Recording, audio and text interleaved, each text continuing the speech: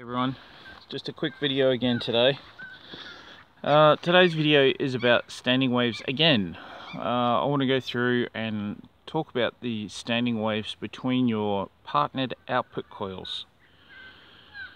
Now it's really easy to get this whole situation this whole um, concept confused and a lot of people do unfortunately. Um, a standing wave uh, can be electric or it can be magnetic okay? A magnetic standing wave is different from a standing wave on the electric side. Now because we're dealing with both we are dealing with electromagnetic standing waves which each um, the voltage in the magnetic field are supposed to be at 90 degrees. Uh, I always and most people do I always depict the current at 90 degrees from the magnetic field. It's easier image to understand. It's an e easier image to um, to realize. Um, and all you need to do is just hold your right hand grip rule up and you'll see the 90 degrees there. So the right hand grip rule, if the thumb is pointing in the direction of the North Pole, then the current will wrap around at 90 degrees through your fingers uh, and that's conventional current. Again, we don't need to be uh, silly about this. Most people know about conventional current. Not everybody knows about how current really flows. So I always use conventional current, uh, again, for those people out there that like to hop on the uh, Numpty Club bandwagon uh, and go on and on and on about it. Who cares? Get over it. Grow up. All that sort of stuff. You know where I'm coming from. Okay, conventional current. Um, now, a standing wave. What is a standing wave? A standing wave is if you have mm, the magnetic field B uh, in superposition to another magnetic field B, and if the vector of B cancels, in other words, short version, if this coil magnetically opposes this coil, then we get a current standing wave. The current will double from E on 2 to E, remembering what Floyd Sweet told us.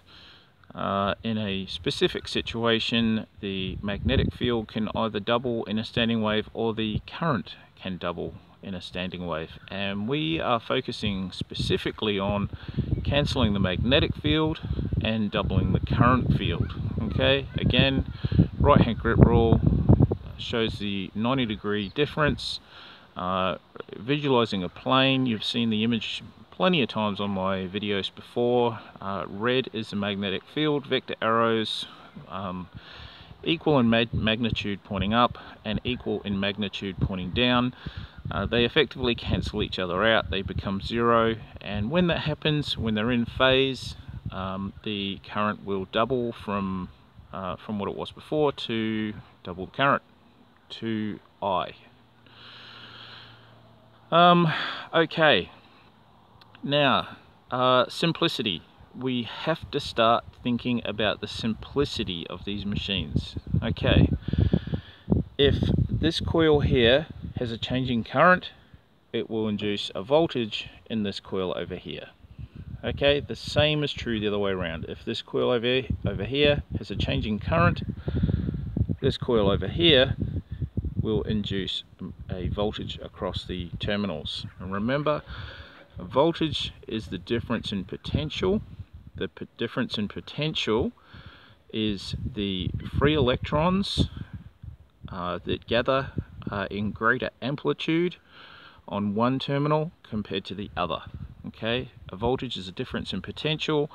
A potential is the charge, the number of charges okay uh, two charges is twice the charge three charges are three times the charge you, you get the idea uh, on one terminal. Now a coil is full of charge. The charge in a coil is is absolutely hugely massive. Uh, you can work it out you can go through and you can uh, calculate out how many grams are in a um, I forget the name now a mole M MOL, I think it's called. Its uh, mole is short for molecular um, structure. Okay, so you can work out how much charge, how many electrons um, or how many atoms in a mole uh, and the number of atoms in just a very very small piece of copper copper is absolutely massive billions and billions and billions of atoms all having 29 electrons okay so a smallest piece of copper has a huge huge number of charges. Charges are all random okay? Moving a magnetic field across the coil at right angles okay will produce a separation of charges. Again same as the last video separates charges pushes the charges down to one terminal uh, leaves a um, uh, leaves a loss uh, or it leaves a, uh, a lack of charges on the other terminal now, some people will say it pushes positive charges to the other terminal, okay? Because uh, if you go through and if you look at the capacitor plates on a capacitor, some will say that the plates are charged with positive and negative charges. Um, so there is a huge question mark in science about uh, do positive charges exist as well as negative charges? Yes, they do. Do they move? Question mark on that, okay?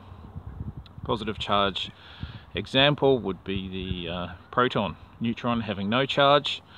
Okay, we have protons, neutrons, and electrons in the atom, in the copper atom. Uh, 29 protons uh, also. So, do they move? Someone's yet to prove it. Okay. Alright, so the generation of electrical energy. Now, you, you can see a symmetrical machine there okay? There's symmetry between the two coils. There's two coils. The two coils have symmetry okay? Electrically they have symmetry. The currents flowing in both coils both at the same time produce the same magnetic field okay? So there's symmetry between the magnetic fields.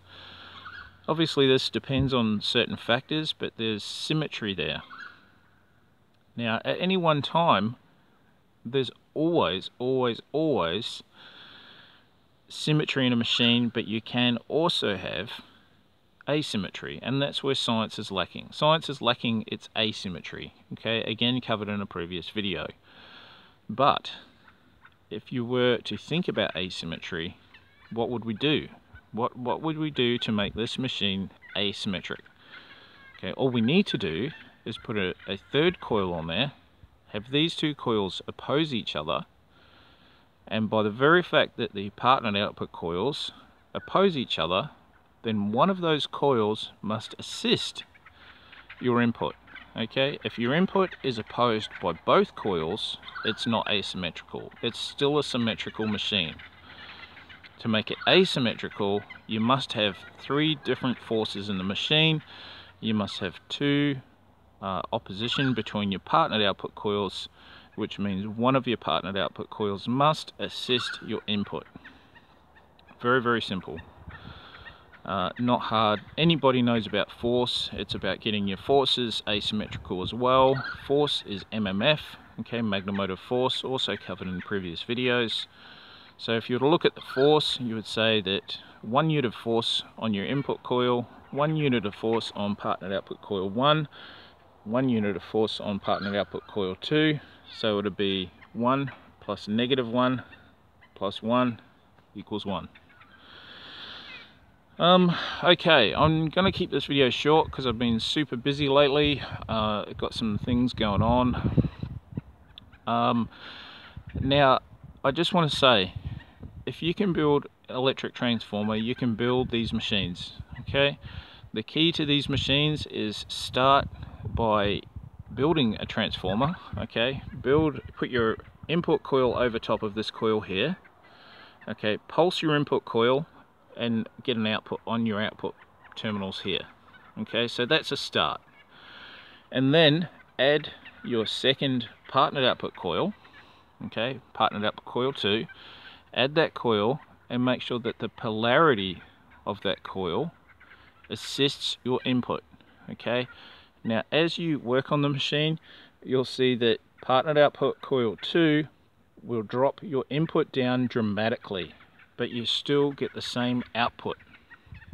This is the key. This is where most of these people are going wrong, okay? You see all these fancy, fancy experiments on the internet, but they're all working with symmetry. They don't know what they're doing. Even the professionals don't know what they're doing, okay? So you've got to get your input down. Working on getting your input down is the key.